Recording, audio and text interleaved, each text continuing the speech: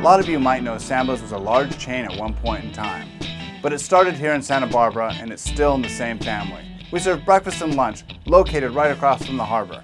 Sambo's is a great place to start off your day and we hope to see you down there.